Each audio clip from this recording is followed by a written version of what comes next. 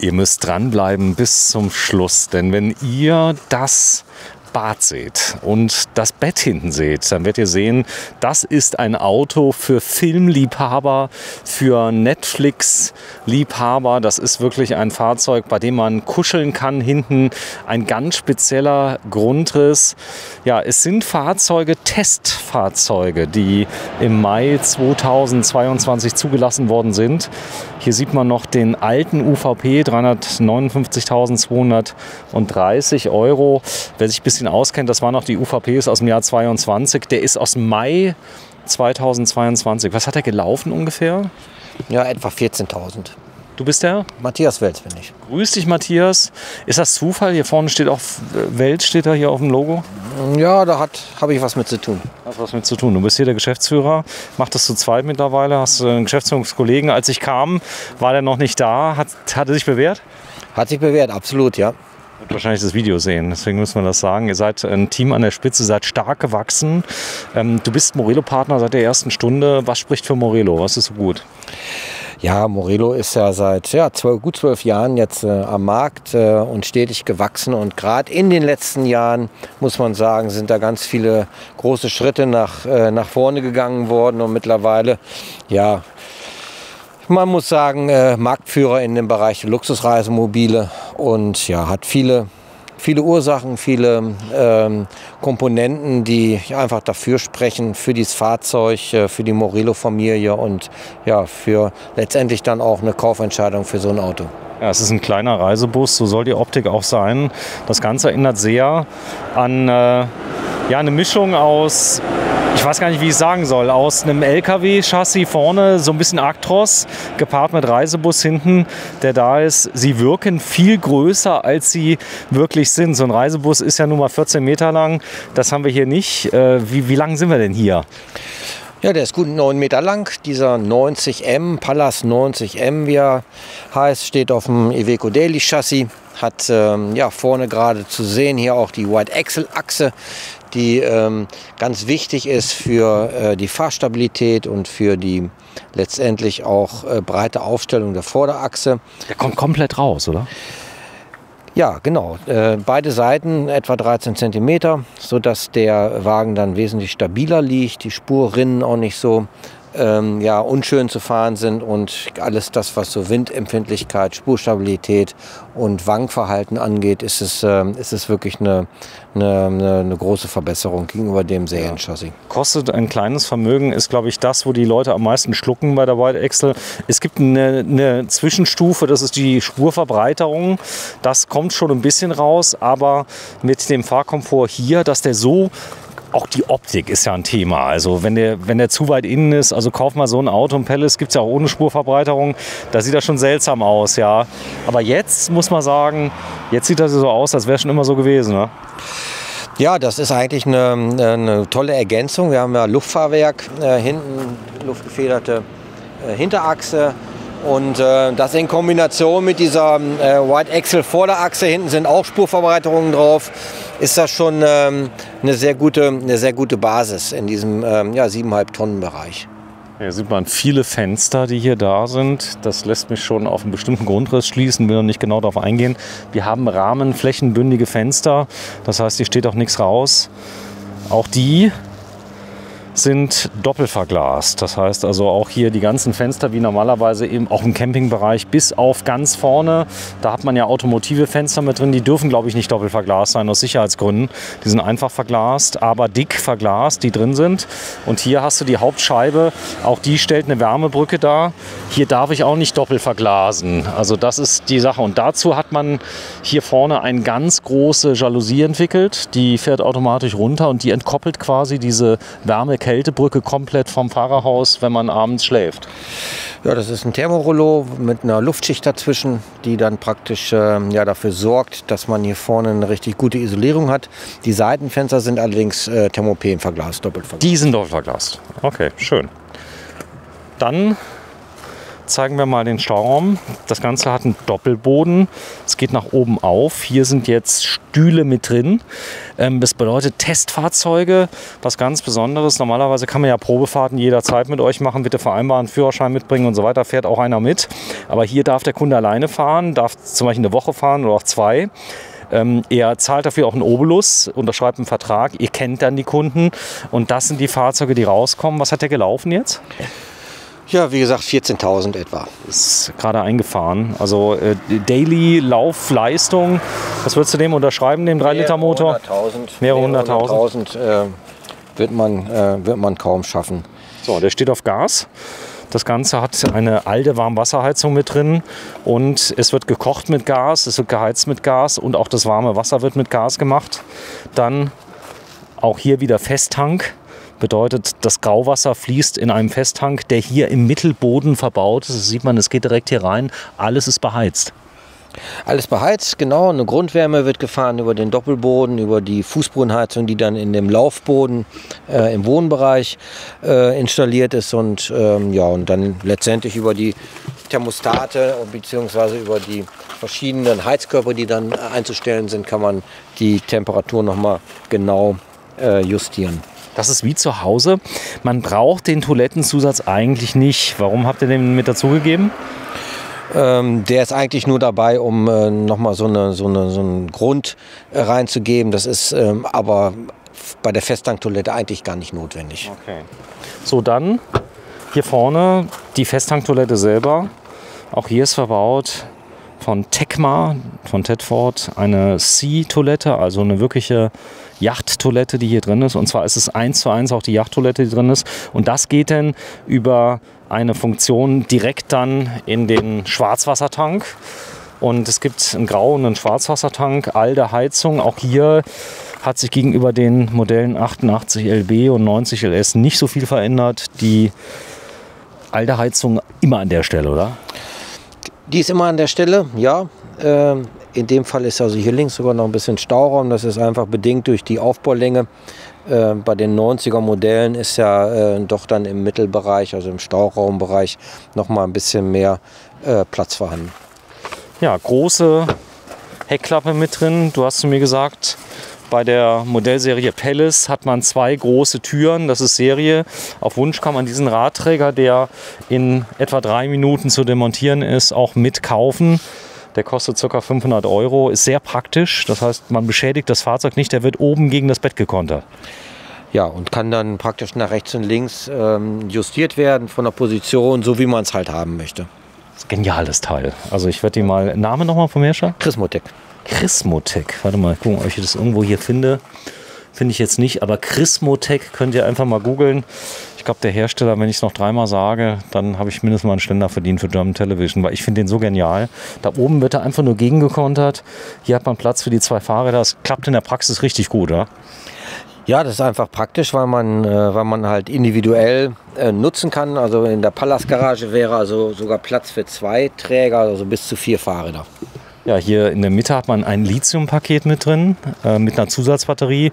Auch das äh, schlägt sich mit einigen tausend Euro zu Buche.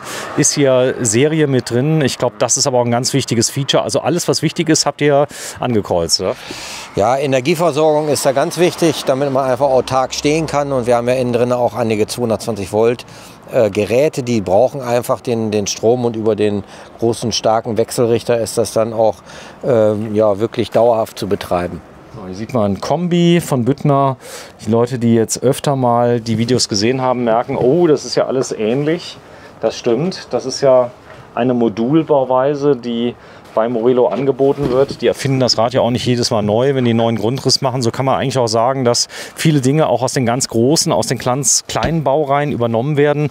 Das schafft natürlich auch eine gewisse Expertise. Das heißt, die erfinden das Rad nicht nochmal neu. Die Sachen werden teilweise schon seit zehn Jahren so ähnlich gebaut. Der Grundaufbau, glaube ich, hat sich seit zehn Jahren überhaupt nicht verändert, oder? Das heißt, das ist geübt, das funktioniert, das ist gut.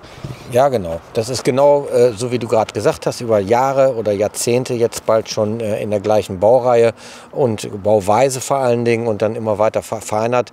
Gerade was die Technik angeht, also diese technischen Features vom äh, vom Chassis, aber auch die ähm, Energieversorgung und innen drinnen die digitalen Geräte, die sind natürlich ja fast jährlich dann auch wieder neu gekommen. Ne? Ja, ist für die Kunden auch ganz wichtig, denn das Thema Werterhalt, ähnlich wie bei Porsche, fährst selber Porsche, ähm, die machen die Modellwechsel immer ganz behutsam. Also jetzt nicht so mit einem riesen Paukenschlag, passiert halt auch schon mal, aber speziell bei der Baureihe 911. Und hier ist es genauso, hier gibt es dann äh, leichte Designänderungen. Das Heck wurde jetzt vor einigen Jahren, ich glaube vier Jahren wurde es mal verändert.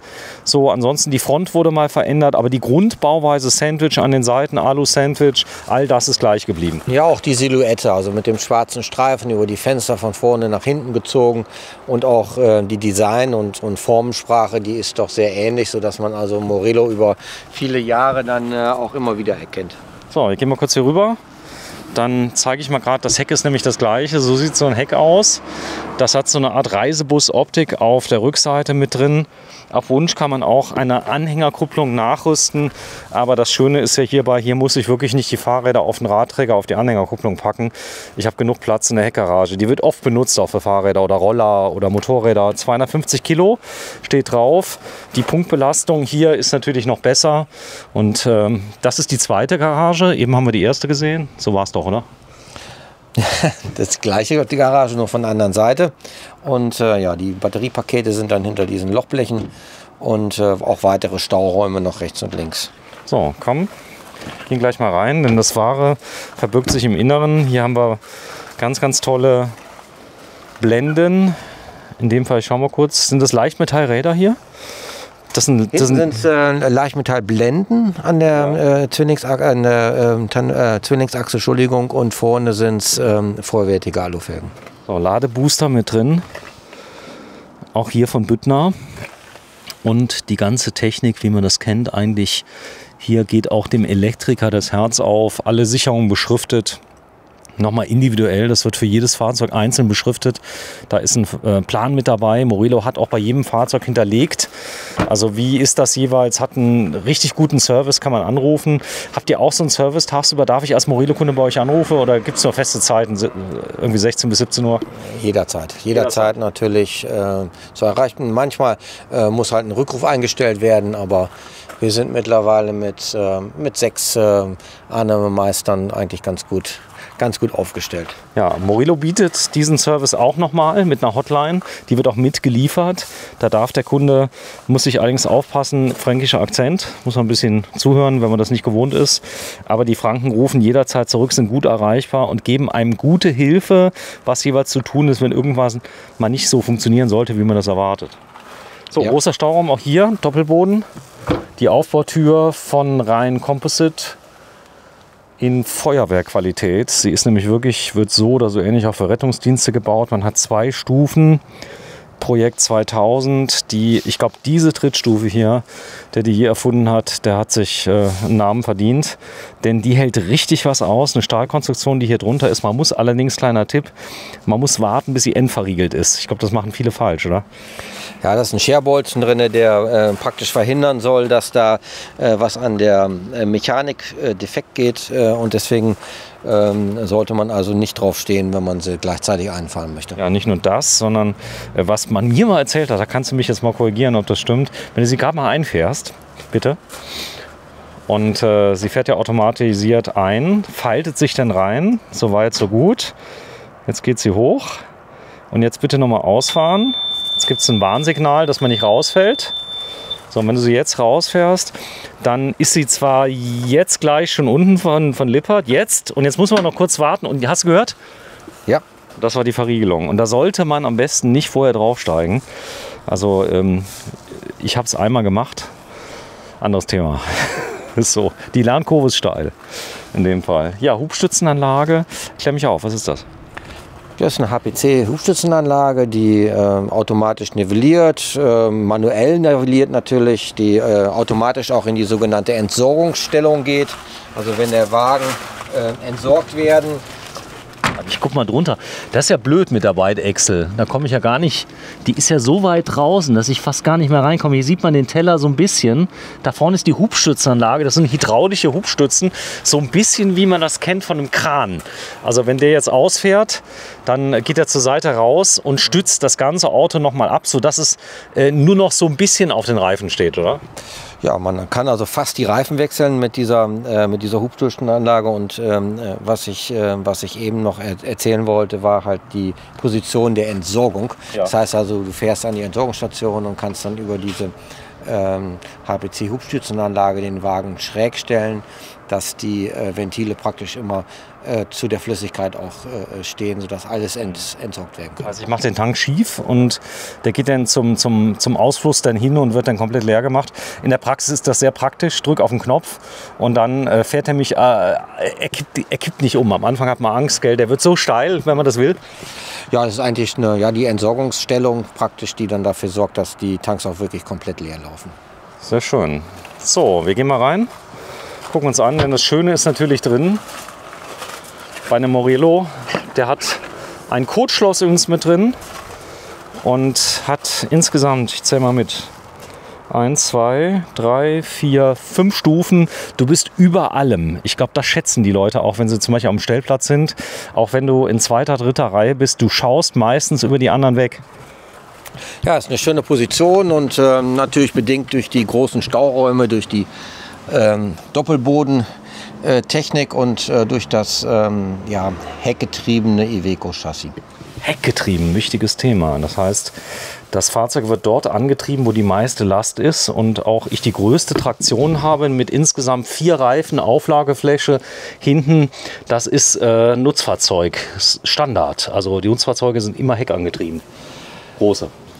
Immer heckangetrieben. Äh, die Last liegt auf den äh, beiden Hinterrädern, Zwillingsbereifung und ähm, ja, und vorne ist dann entsprechend hier für die Federung über die luftgefederten Sitze gesorgt. Ja, jetzt habt ihr die Qual der Wahl. Denn ihr könnt nämlich hierbei Folgendes machen. Man hat ein Bett entwickelt, bei dem das hintere Bett auch als Sofa benutzt werden kann. Man könnte sich hier also eine Tagesdecke drauf machen, könnte ähm, hier sich drauf lümmeln, Bücher lesen, äh, kann die hintere Kopfleiste hochstellen, so ein bisschen wie eine Komfortfunktion ähm, im Krankenhaus hätte ich was gesagt, ja, kann man äh, hochmachen, sodass man hier schön lümmeln kann. Ich habe es ja eben nochmal anmoderiert. Das Queensbett das ist äh, quasi eine schöne Liegewiese, die ich dann im Alltag verwenden könnte und könnte vorne schlafen. Das heißt, das würde gehen. Das heißt, das äh, Nachtbett hätte ich vorne, äh, kann ich elektrisch runterlassen als Hubbett und hinten könnte ich mir eine schöne Spielwiese machen, wo ich, äh, ich sag mal, nochmal einen zweiten Raum habe, wo ich mich zurückziehen könnte, oder? Könnte man machen. In aller Regel wird es natürlich anders genutzt. Ist ganz klar, das ist das Queensbett, das M-Bett, so wie es bei Morilo heißt. Und äh, ja, ist eine, eine, eine super komfortable ähm, Liegefläche mit, mit zwei separaten äh, Zugängen, rechts und links. Man kann bequem drum zulaufen, hat noch Stauraum äh, am Fußende unten drunter. Man hat zwei zusätzliche Kleiderschränke, Schubladen rechts und links. Und ja, eine, eine super Liegefläche mit Kopfteilverstellung und Unterfederung hier auch mit einer speziellen ähm, ja, punktgelagerten Unterfederung, große, dicke Matratzen, sodass man also wirklich perfekt liegt. Fernseher am Fußende, mhm. in der Ecke hier oben. Es ist also wirklich, wirklich toll gemacht. Der Einstieg beim Queensbett ist besonders einfach. Das ist wie zu Hause. Es ist nicht dieses, die Liegewiese, wo du drauf krabbelst, sondern das ist mehr so ein Feeling wie im Hotel da bist du ja auch nicht, was hast du nicht einen Raum, einen Schlauch, wo du denn irgendwo bist, sondern du hast ein offenes Zimmer. Hier kann man an der Seite vorbeigehen. Du siehst, da hast einen richtigen Gang mit drin. Du hast eine Ablagefläche. All das fehlt ja bei der Liegewiese natürlich, äh, bei den längs Einzelbetten, die drin sind.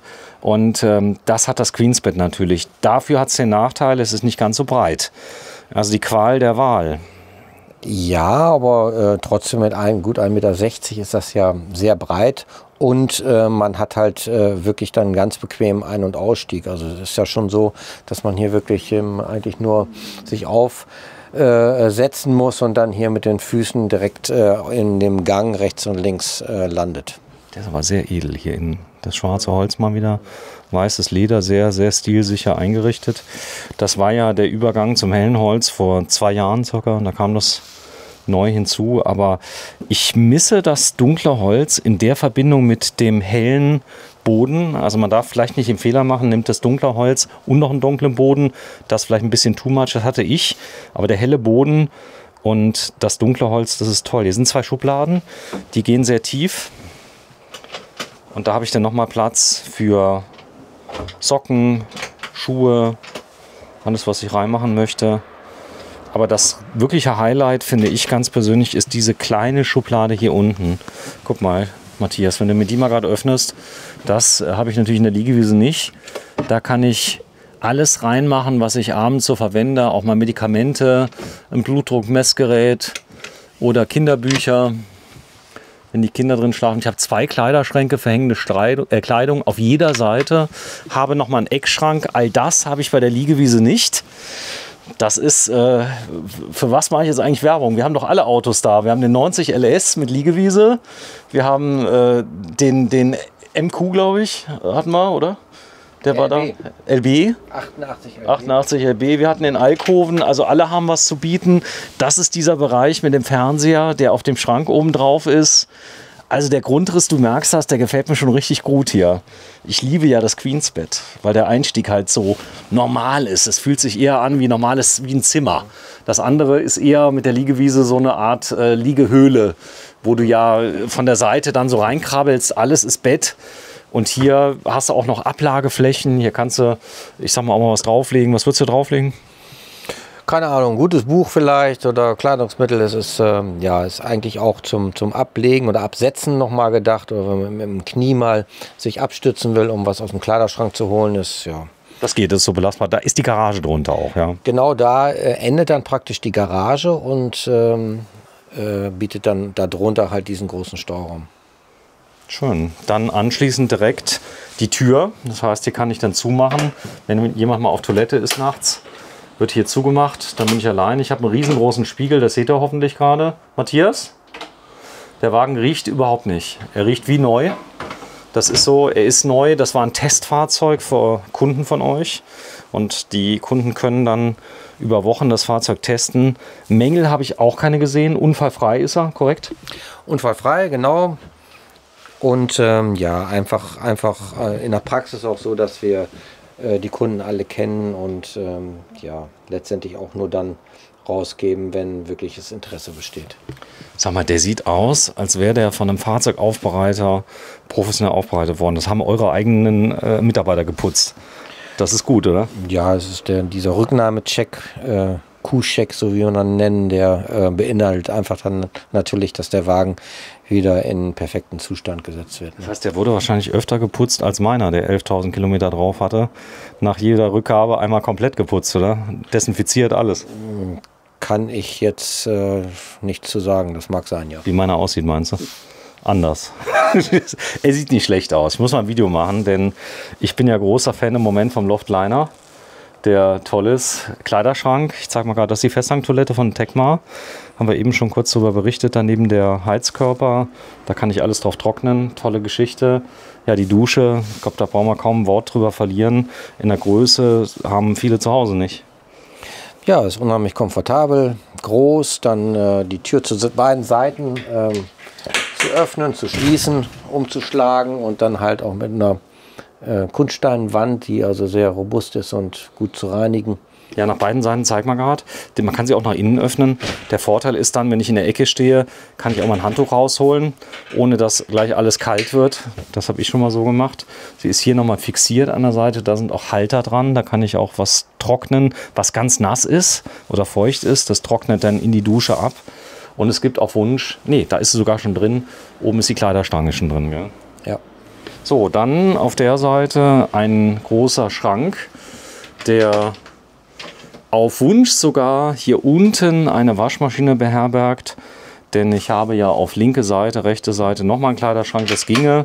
Also hier wäre Platz für eine Toploader AEG Waschma äh, Waschmaschine.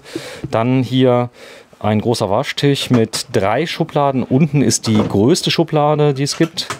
Und auch da habe ich Platz pur für Socken. Also ganz unten war immer die ganze Unterwäsche vor mir drin. Aber das kann jeder so machen, wie er will. Ich habe auch mal ein Video gemacht beim 90 LS, der war schön eingeräumt. Also ich bin ja eher so Junggeselle unterwegs. Äh, ist so. Sag mal, die Zielgruppe, ist die kunterbunt von ganz jung bis ganz alt oder sind das eher so die etwas Älteren, die hier in der Regel zuschlagen bei dem Modell?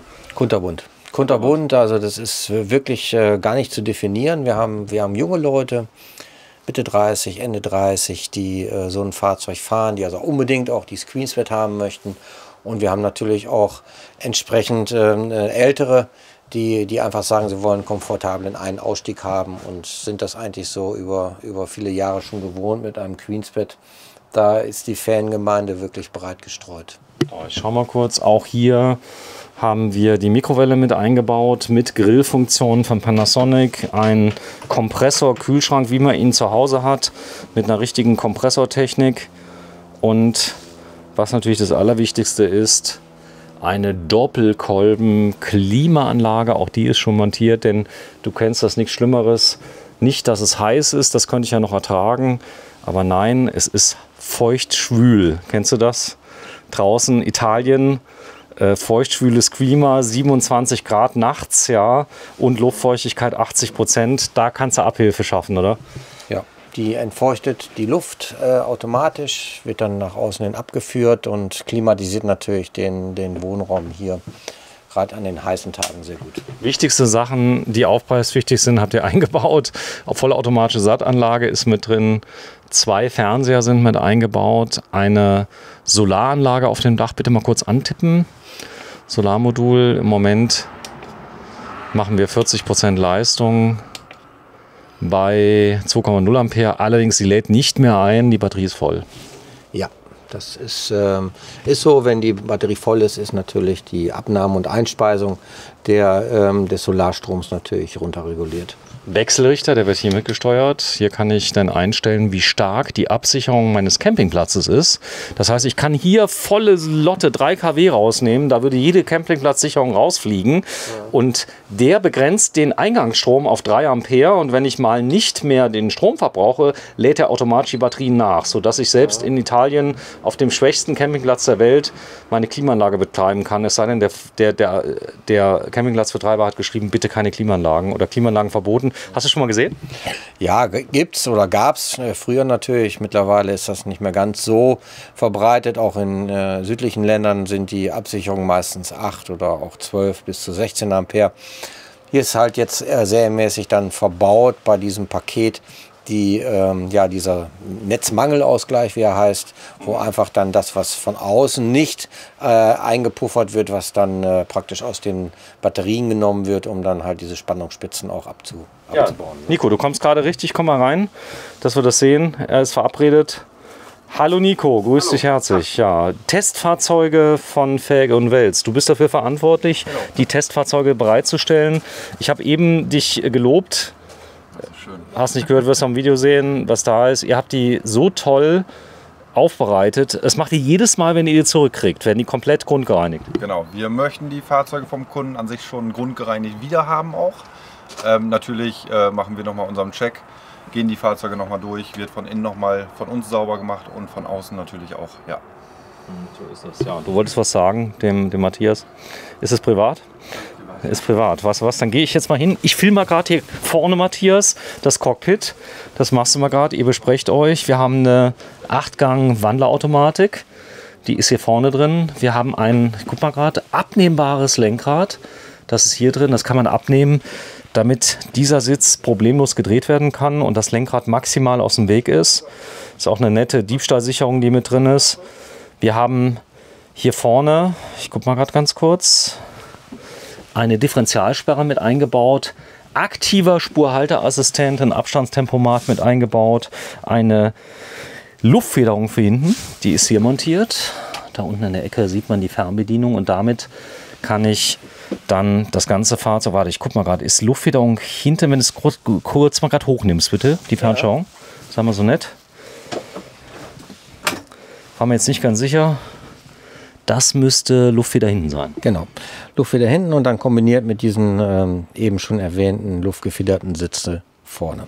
So, und dann auch hier aufblasrichtig das große Garmin-System mit Rückfahrkamera und Navigationssystem.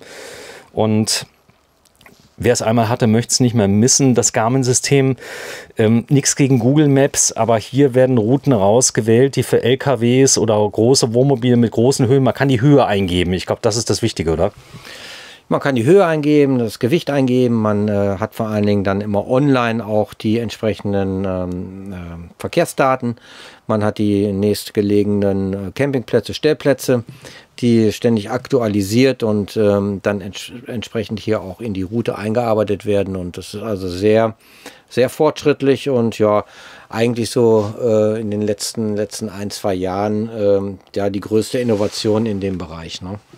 Vielleicht kleiner Hinweis für alle Leute, die denken, das hat aber jetzt lange gedauert beim Hochfahren. Das System fährt sich erst nach einigen Tagen komplett runter. Das war jetzt komplett runtergefahren. Wenn man das im normalen Betrieb hat, dann ist es immer schnell äh, up to date. Also das ist, äh, also ja, jetzt ist es da. Wenn man aber jetzt den Ausschalter mal betätigt, sei mal gerade so lieb, mach's einfach mal aus unten. So, jetzt ist es ja hochgefahren. Jetzt geht's aus, mach's nochmal an. Und dann bootet das System quasi in Echtzeit, also wie man das hier sieht. Ähm, das wird nämlich nochmal gepuffert durch das Tablet, was man abnehmen kann. Das ist hier oben drauf. Das geht also nie ganz aus, sondern steht dann komplett zur Verfügung. So, jetzt war es wahrscheinlich auch entladen. Das kann nämlich gut passieren nach einer Zeit, dann fährt das runter. Es ist ein tolles System. Wie sind die Rückmeldungen von den Leuten über das Garmin-System? Ist das gut? Haben die Freude?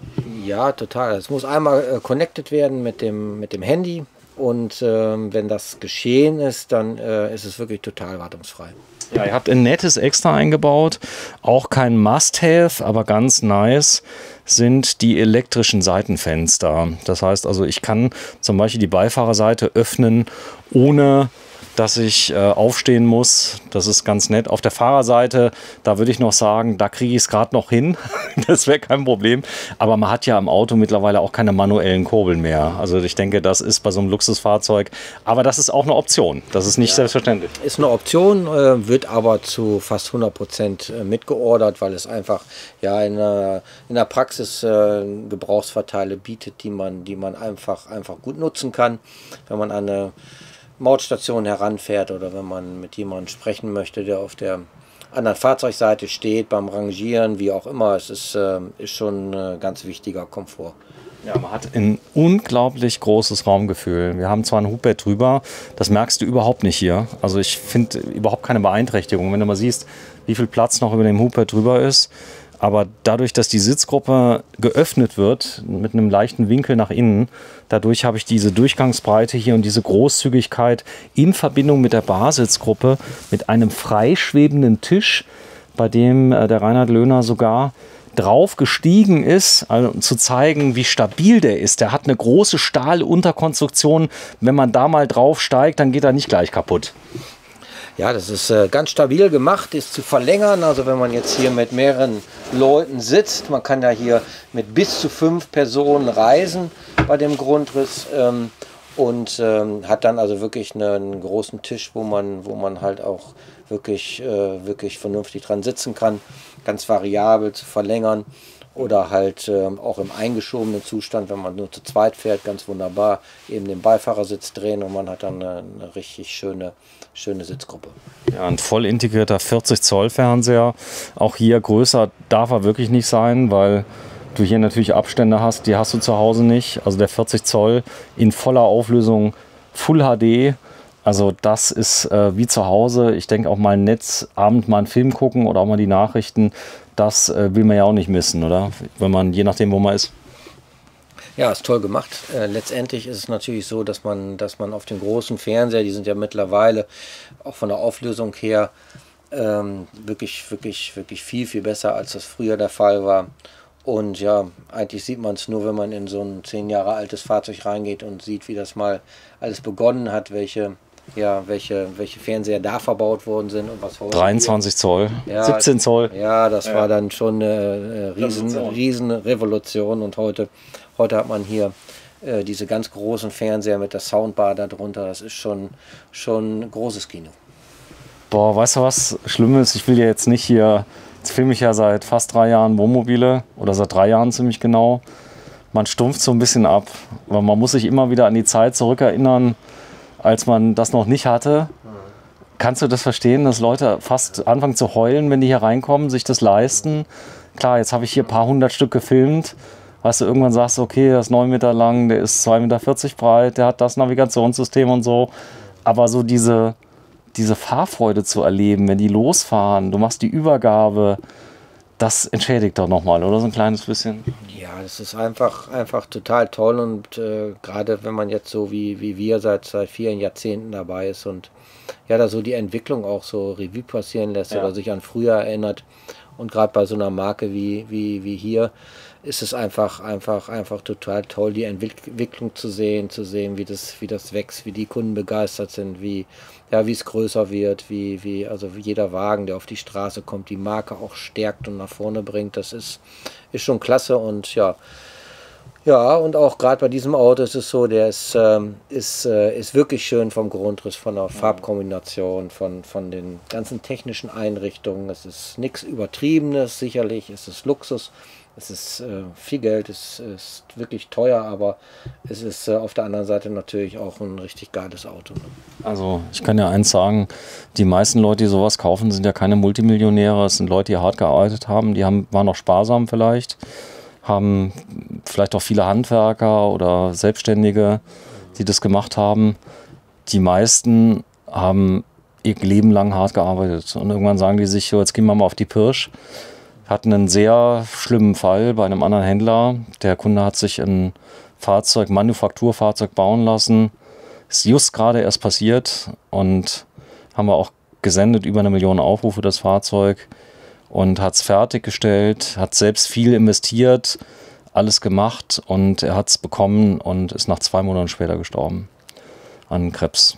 Und äh, das äh, ist auch oft so, dass Leute dann sagen, ich schiebe das dann auf, bis ich dann vielleicht mal, du kennst das selber, ja, du bist jetzt in einem Alter, wir sind glaube ich beide, was bist du vom Baujahr? 67. Ich bin 68, also wir sind so in einem Alter, wo man so langsam ein bisschen anfängt nachzudenken, ob das Hamsterrad ob man das nicht langsam mal verlassen möchte. Ja, das ist auch der Grund, warum du zweite Geschäftsführung, äh, also willst nicht weniger machen, aber du merkst, wird alles ein bisschen viel, oder? Man will auch ein bisschen Freizeit haben. Ja, das ist klar. Ich äh, möchte man natürlich und letztendlich sind wir auch stark gewachsen und, und, und ich möchte einfach auch letztendlich die Professionalität nicht auf der Strecke äh, lassen. Ich äh, selber habe ja äh, über, über viele Jahrzehnte das gemacht einiges gut gemacht, einiges vielleicht auch nicht so gut gemacht und jetzt wollen wir halt den nächsten Schritt gehen. Ja, also wer Lust hat, und ich kann euch sagen, ich bin einer derjenigen, der die, ich behaupte mal, die meisten, einer der, der die meisten Morelos der Welt gefilmt hat, der die Zusammenstellung hier, Basitzgruppe, das ist hier dieser freistehende Tisch, fünf Personen Zulassung, Hubbett, Lithium mit drin, das tolle Bad, das Raumbad, was mit eingebaut ist, dieses tolle Queensbett, also ich wüsste nicht, was ich hier anders konfiguriert hätte. Also Hut ab. Hast du den gemacht? Nee, habe ich nicht gemacht. Hat äh, die Vermietung gemacht mit der Verkaufsleitung zusammen. Ja, aber sehr, ähm, sehr sicher, glaube ich, ja, die Wahl, oder? Ja, ja, sehr sicher und letztendlich auch erprobt. Wir haben ja äh, seit, seit, seit Jahren dieses Angebot und versuchen natürlich dann auch äh, wirklich Autos zu kreieren, die, die nachher gut in den Markt passen. Ne? Ja, die man auch wieder gut verkaufen kann, wo eine große Zielgruppe sagt, ja, das ist mein Auto. Also klar, es gibt viele, die sagen, naja, das dunkle Holz gefällt mir nicht, aber diese Farbzusammenstellung mit dem hellen Boden, man darf halt nicht den Fehler machen, das habe hab ich früher gemacht, äh, diese Schiffsbodenoptik in dunklen Holz, das dunkle Holz und dann irgendwann mal, dann säuft er so ein bisschen ab. Aber das war der Trend. 2015 durfte es gar nicht dunkel genug sein. Das kann ich mich noch daran erinnern, ja. Weißt du noch? Ja, klar. Klar, und da ist natürlich, heute ist eine etwas andere Zeit. Trotzdem muss man sagen, dass gerade bei dieser Kombination hier wirklich ein ja, zeitloses und äh, langlebiges ähm, Design gewählt worden ist, was jetzt nicht in, äh, in ein paar Jahren dann gleich wieder überholt ist. Ja, nettes Gimmick ist ähm, diese kleine Schublade hier drunter. Wer noch nie ein Morello hatte, wird jetzt erstaunt sein. Uh, Schublade. Ähm, die hat, glaube ich, eine Kühlfunktion. Dann hast du hier zwei Ablagefächer. Du hast hier eine City. Das ist aber übrigens original Iveco Daily. Wenn man diese Taste City drückt, dann fährt er sich mit einem Finger. Das heißt also, die Servolenkung wird nochmal unterstützt und die kann man übrigens die ganze Zeit anlassen. Dann fährt er sich wirklich mit einem Finger. Das Lenkrad auch, weil viele gesagt haben, oh, das ist ja viel zu klein, das ist ja kein Männerlenkrad. Ich kann euch sagen, wer je ein Multifunktionslenkrad hatte in einem in einem Reisemobil, auch das möchte man nicht missen. Da kann ich die Lautstärke verändern. Ich kann ganz, ganz viele Sachen machen. Im Moment habe ich nämlich keins. Im Eurocargo ist keins drin. Und das ist eine ganz, ganz feine Sache. Und die Lautstärke. Die Lautstärke in dem Fahrzeug hier ist so gering. Du hast halt keinen kernigen äh, 8-Liter-Motor, weißt du, beim Anmachen, wo das ganze Fahrzeug wackelt, sondern du hast einen sehr dezenten, ruhigen, kraftvollen Motor. Das geht aber nur bis zu einer gewissen Tonnage. Also das ist, kann man nicht auf 12 Tonnen machen, sowas. Ja, das geht nicht. Und äh, hier haben wir ja diesen 7,5 Tonner mit dem, mit dem 3 Liter äh, äh, Dieselmotor und der ist, äh, ist wirklich extrem laufruhig, optimiert natürlich jetzt durch das ZF-Getriebe, Wandlergetriebe seit einigen Jahren und auch hier mit dem abnehmbaren Multifunktionslenkrad ist das ähm, ja wirklich also ein, ein Bauteil, ein technisches Bauteil, was halt in den letzten Jahren mit dazugekommen ist. Komm, wir zeigen nochmal das Hupet, dass wir das mal sehen. Das sind übrigens die große Mappe an Originalbetriebsanleitungen. Die sind natürlich dabei. Das Fahrzeug würde ich jetzt mal sagen, es ist im Mai gebaut worden, letztes Jahr. Hier bekommt ihr von einem Original Morelo-Händler einen fast neuwertigen oder pff, neuwertig auf jeden Fall, aber einen fast neuen Wagen mit wenig Laufleistung, ich glaube 15.000. Merkst du übrigens auch, dass die Dämpfer, die hier drin sind, der wurde so gut wie gar nicht bewegt. Und guck mal hier das Pitting, lass mal kurz drauf. Da ist ein, nee, es ist gar keins drauf. Das kennt ihr doch, wenn ihr so eine Matratze benutzt. Bereits nach kurzer Zeit bilden sich so Baumwoll äh, kleine Kügelchen drauf, ja. Und da kann man sehr schön sehen, die habt ihr auch nicht weggemacht. Das erkenne ich direkt. Auf dem Bett hat so gut wie keiner gelegen, oder? Ja, ist ganz wenig benutzt, wenn überhaupt. Okay, sehr schön. Ja, hier sind wir. Tolle Geschichte. Das äh, Queensbett mein persönlicher Favorit. Ich hatte noch keins muss ich sagen, warum weiß ich nicht, weil 80 Prozent der Betten natürlich äh, Längsbetten äh, sind und ich natürlich immer das bestelle, was die meisten wollen. Das wird sich jetzt ändern. Wir kriegen einen Alkoven. Das ist der absolute Exot bei Morelo, aber ich finde ihn toll. Also es ist äh, eine ganz andere äh, Kategorie und Liga. Aber hier muss ich sagen, mit der Küche, der schönen großen Küche mit dem Dreiflammen-Kochfeld, hier den zwei Spülstein mit drin. Das ist ein richtiges Mineralstoff ist das hier. Also praktisch eine Art Granit äh, zermahlen, glaube ich, mit dem Kleber mit drin. Und das ist so hart und so beständig, eigentlich fast wie äh, Stein, oder? Ja, es äh, nennt sich auch Kunststein, Korean, ist 75% Granitstaub und ähm, dann entsprechend äh, verbunden mit Polyurethan, sodass das dann also auch bearbeitet werden kann, ausgebessert werden kann, Kratzer entfernt werden können und so weiter. 15. März 2023. Also wer dieses Video hier sieht und Interesse an dem Fahrzeug hat, kann aber gerne auch hier anrufen. Ihr kriegt immer wieder tolle Gebrauchte rein. Das ist so. Ihr habt doch immer wieder mal einen Vorführwagen da. Ruhig mal anrufen in Bissendorf. Der Palace 90M 324.500 Euro ist der Endpreis. Die Mehrwertsteuer ist ausweisbar und es gibt noch die volle Garantie von einem Original Morelo Vertragspartner. Was kann man da noch falsch machen? Es muss nur noch das Geld haben, oder? Richtig. Und falsch machen nichts. Tschüss, Matthias. Bis zum nächsten Mal. Bissendorf in Niedersachsen. Tschüss.